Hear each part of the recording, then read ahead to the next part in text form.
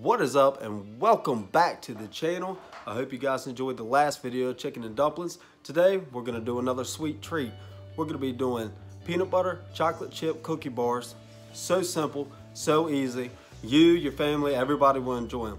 20 minutes of bake time, five to 10 minutes of prep time. It's sticky, it's a little bit gooey, but it is well, well worth it. I'm telling you, the last great, great recipe. Also, don't forget if you like this video, smash that thumbs up button. Don't forget to hit the bell icon for all the latest and greatest videos. And also subscribe down below to my channel. That being said, if you guys are ready to get this video started, as always, I am that guy to do it for you. Let's get it. Let's get this easy recipe going. First, you're gonna need some mini peanut butter chips, some mini chocolate chips, two eggs, yellow cake, and also five tablespoons of butter. and That's it. Take your five tablespoons of butter, put it in a bowl, make sure you have a cover on it. Nuke it for about 20 to 25 seconds in the microwave to melt it and make it easier for stirring. Then go ahead, take your pot or your bowl, whatever you want to mix all this stuff in. Crack your two eggs, drop it right into the pot, pour your butter right into the pot, and then your yellow cake mix, dump it also right into the pot.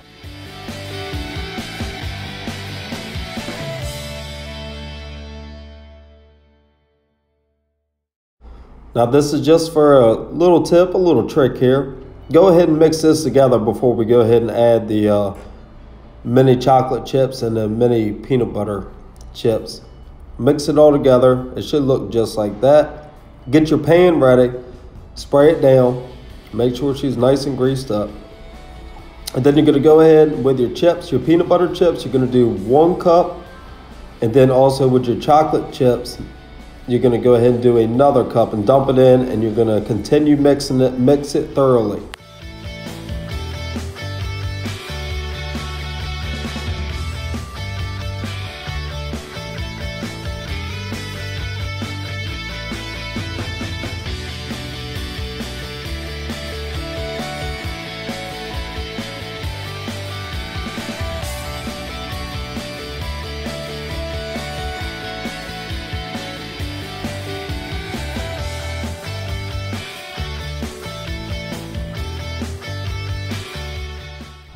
Now that you have your mixture all mixed up, go ahead and take it. Take everything out of the bowl, put it right into your greased up pan, and then you're gonna try to spread it evenly, as evenly as possible. You can try using the spatula to flatten it out, but don't forget, you're gonna have to get your hands dirty. We want this thing even. We don't want it all lumped up, so you wanna make it nice and even. Take your hands, kind of help spread it out because it is sticky. And when you spread it out, it should look something like this. It ought to be just perfect. Your oven preheated to 350. And then you're gonna go ahead and put this in the oven for about 20 minutes.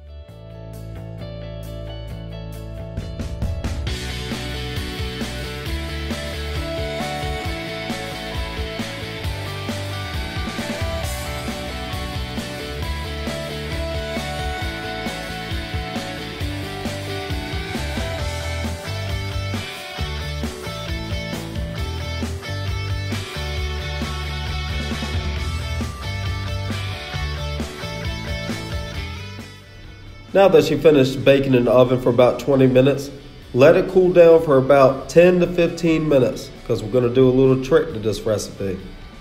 This step is completely up to you. I use a little bit of chocolate sauce, spread it back and forth, and then you're going to go ahead and use your caramel sauce. You're going to put it right on top of the chocolate sauce, kind of like the same thing we did here.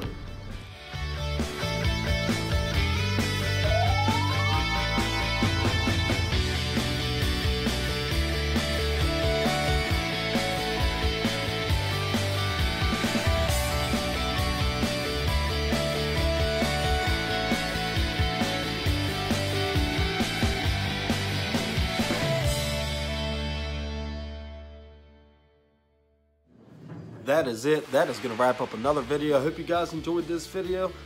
Like I said, the hardest part was just the mixing If it's too hard on you, too hard on your arms, you get too tired, you can always use a mixer as well.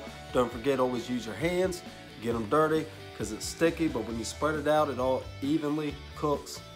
It's perfect. It's that simple. Also, don't forget, check out my playlist down below. Make sure you check out all my videos, see if you like them.